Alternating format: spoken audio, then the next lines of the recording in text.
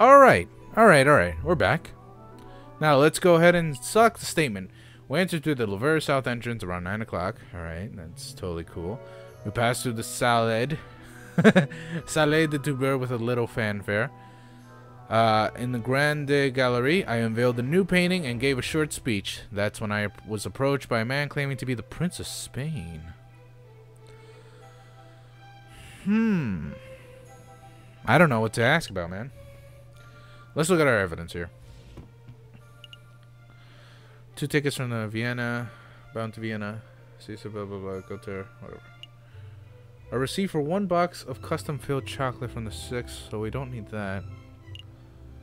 Falcon wake, awoke upon the ponder with the fountain pen contains green ink. Does uh, anything contain some sort of something about that? around nine o'clock. I don't know. I don't. I don't have any evidence that suggests anything. Actually, I know I do. Fuck it. South end. Let's just begin one at a time. Your Majesty, you say that you entered the Louvre from the south entrance. Indeed. We approached from the Hotel de Ville, so it was an easy riverside stroll. Did you see anyone suspicious?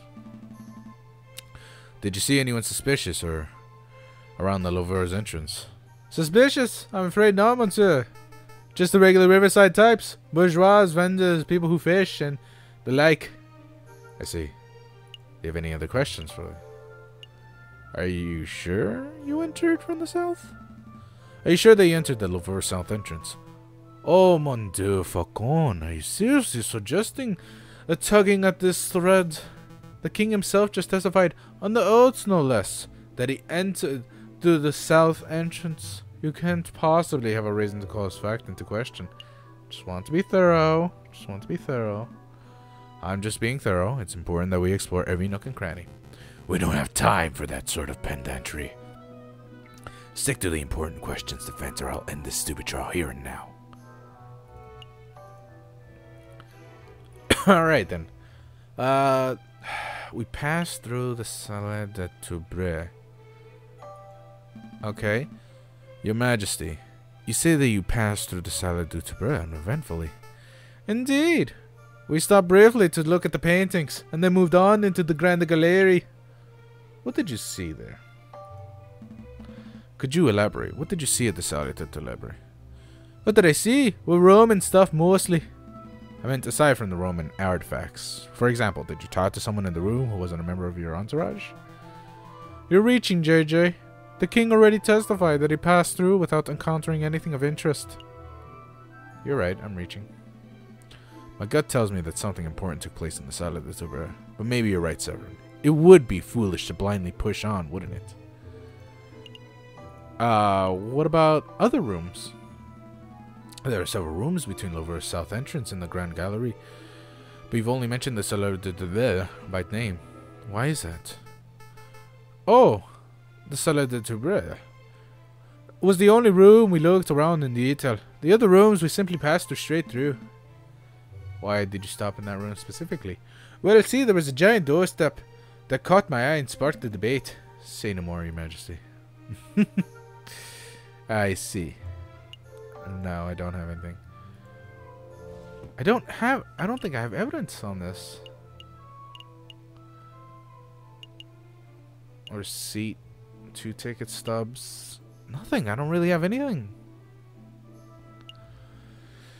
I don't have... Hang on. Took Thorns of the Rose. Lander like A chocolate wrapper that was found in the Salle de Toubre. The label reads... Hmm. Well, this was found in the place. But what can I say about it? Nothing really. I can't. It's nothing. Nothing really I can say. Alright, Grande Gallery. Now, Your Majesty, I would like to ask you about your activities in the Grande Gallery. Please proceed. May we hear your inspiring speech? Did you see anyone suspicious? Aside from the Prince of Spain, did you see anyone out of the ordinary in the Grand Gallery? Why, monsieur, the Grand Gallery is always inhabited by artists. Every everything is there out of ordinary. Nonetheless, can you think of anyone who stood out? Is this question going somewhere, or are you blindly? Someone messaged me on uh, on Twitter. I gotta get rid of that. Or are you blindly stabbing in the dark? I guess I'm stabbing in the dark. Then perhaps be a little less stabby and a little more brainy. Alright. I don't know.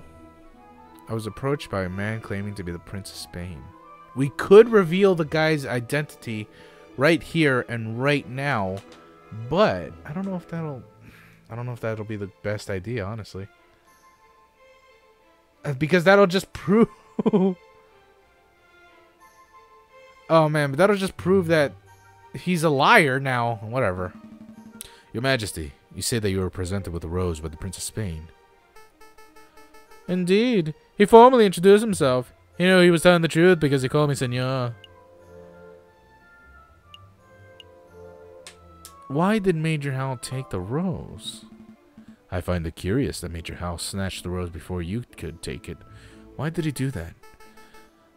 The Major Hal has always been a protective fellow. I think he was just doing his diligence as a royal guard. As given how he looked, how he took the figurative bullet for me, I would say that he did his job well. Well, I can't argue that. Alright, well, I guess it's time to reveal that that was not the Prince of Spain. Your Majesty, prosecutor, members of the jury. I feel like this is a bad idea. But whatever. Brace yourselves, because I have a revelation that will turn this trial on its head. Juan Querido is not the Prince of Spain. That's not a revelation, Falcon, is isn't? Of course not. We all know that the current leader is Queen Regent Isabel II and that she has no children. The Queridos are obviously pretenders to the throne. Prince Juan's title is self-probably self-appointed. But his name isn't even Juan. But his name isn't even Juan Querido.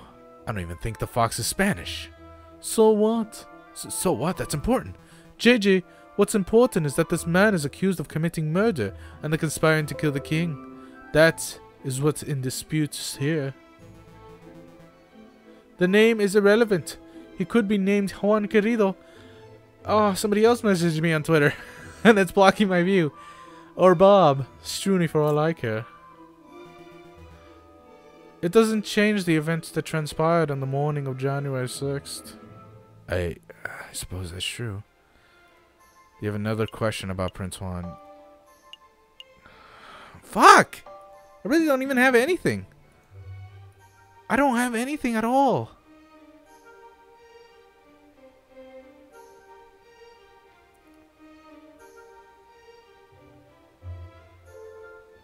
Dude, I, I, I don't have anything. I don't have anything, dude.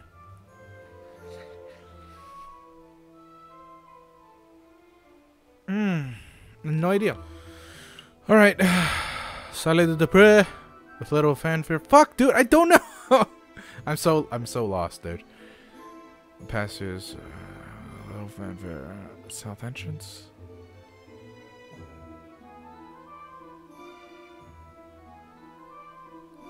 Nine o'clock.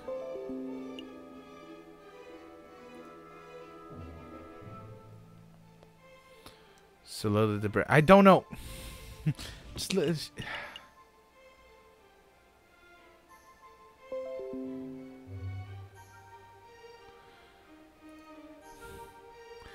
Chocolate wrapper that was found in the salad de Debre.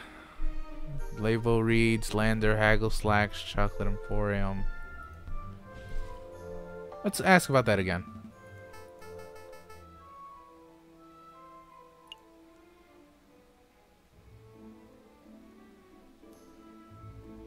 Wait, wait, yeah, wait a minute, yes, I, I know something.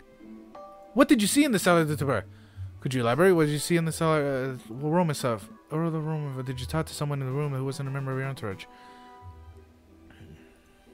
You're right, I'm just reaching. Hang on, this isn't the one. Hang on, hang on, hang on. I, I know, I know, I know, I know. I know, I know exactly. Shit. Wait, no, wait a minute. No, it doesn't immediately make sense. Okay, fuck. We're asking. We're asking. Go for it. I would like to ask you about your activities in the Grand Gallery. Please proceed. Did you see anyone suspicious? Why, Monsieur, the gallery is always inhibited by... Uh, nonetheless, can you think of anyone who stood out? Is going to somewhere, or are you blindly stabbing? It's a valid question. It's a perfectly fine question. Please, answer, your majesty. Who did you see? Well, I don't know. I saw a dozen in a paintbrush-wielding, mustachio-touting weirdos. Be specific, your majesty. I... I saw photographers and sculptors, sketchers and hipsters and... And... Just what do you want me to say, monsieur? Look what you've done, JJ. You've stressed the poor king out. Badgering the king? Tut tut. Absolutely disgusting behavior. That's stalling. What a buffoon. He lost a little favor with the jury. Shit. I do, but I'm trying to... May we hear your inspiring speech? Could you give us a rendition of your speech? What, right now? Without my cue card? I'll give it a shot, I suppose. Um, oh, mesdames and messieurs, welcome to the grand unveiling of this beautiful portrait. I don't claim to be the greatest king penguin ever reigned over the France, nor the handsomest, nor the most competent. Some may argue that I'm not even a top 10 material, but I am a humble king penguin. Some consider me the most humblest king penguin of all time. Your Honor, I object. The speech is trav is travesty or something. Sustain. Uh, do you have any other questions about the king? Shit. Shit. I don't know. There's something that happened here. I know there's something that happened here. Indeed, we stopped briefly to look at the paintings and... Fuck! I don't, I, I don't know. Don't know. What did you see in the salad? What about the other rooms? Okay, hang on. Okay. Because I'm trying to get him to, to talk about the wolf because we all know the wolf did it, but... Well, Roman stuff mostly. I want the king to elaborate. How about that? I have reason to believe that this was key moment on the day of the murder. I want the king to elaborate on exactly on what and who he saw.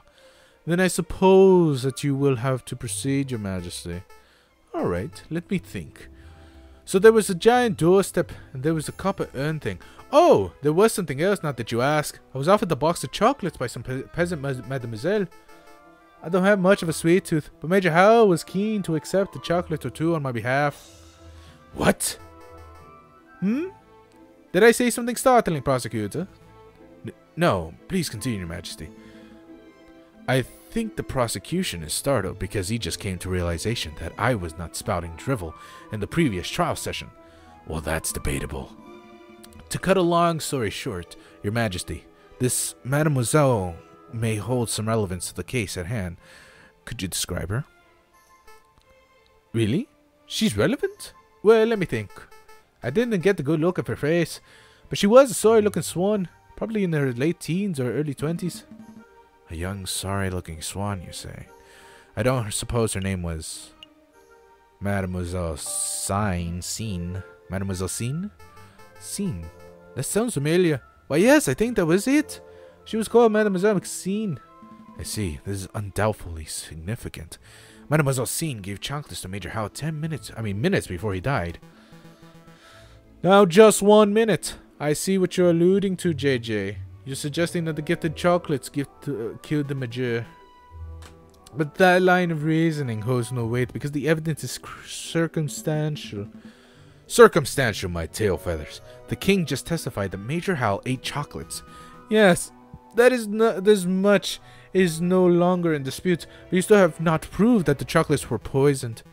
Without that, we must assume that the swan was merely offering a gift, rather than speculating that she was a murderer.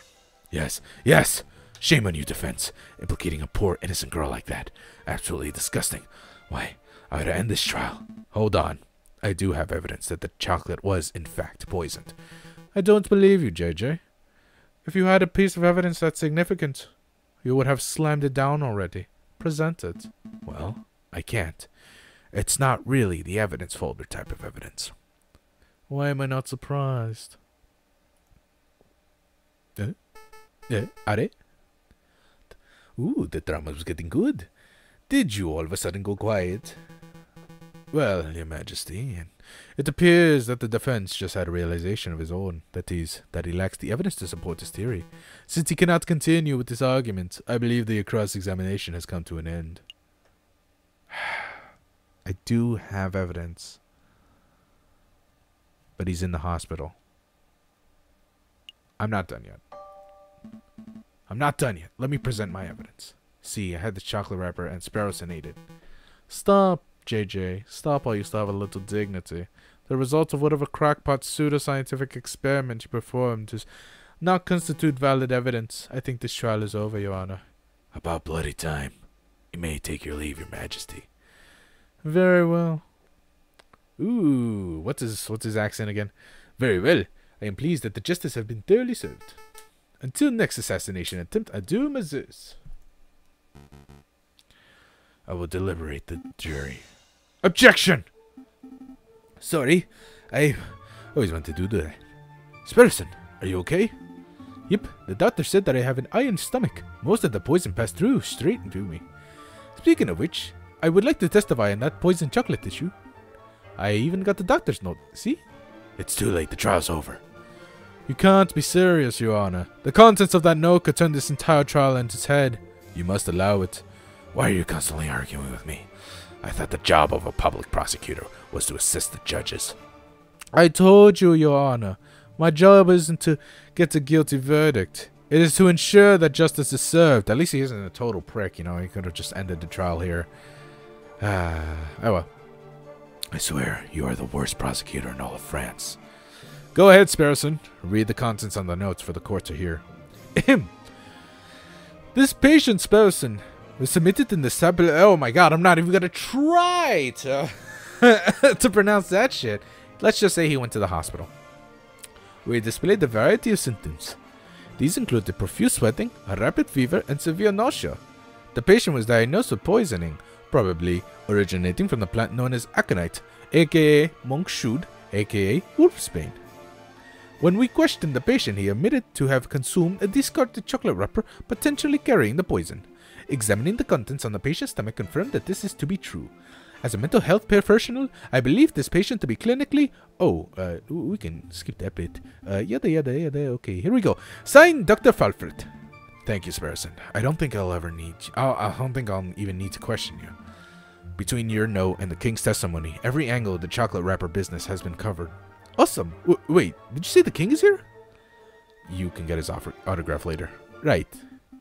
So what happens now? Did I get a cross-examination by the prosecution or something? To be honest, I see little to cross-examine. Do your damn job, prosecutor.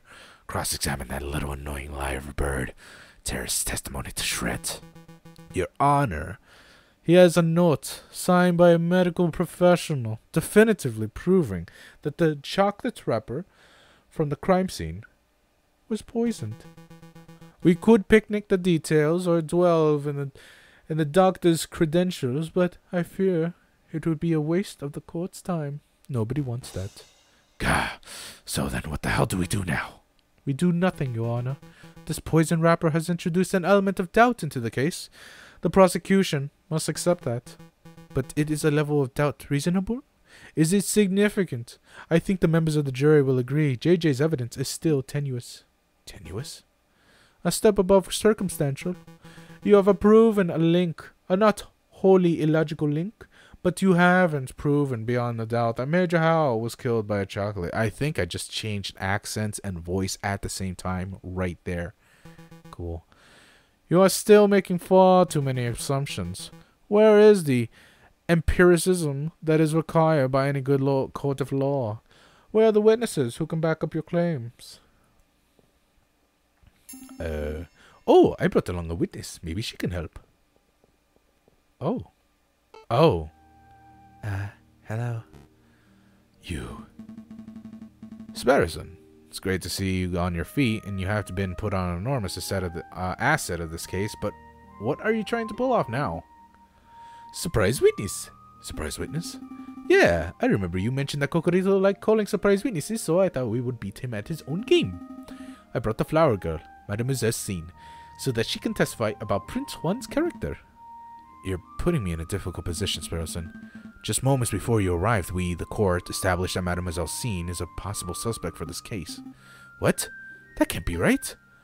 Sparrowson, it's okay. Monsieur Falcon, I would like to testify. You want to testify? Do you understand what you are agreeing to?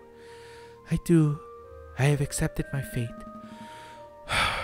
Prosecutor, do you have any objections to me calling upon Mademoiselle Scene as a witness? No, none.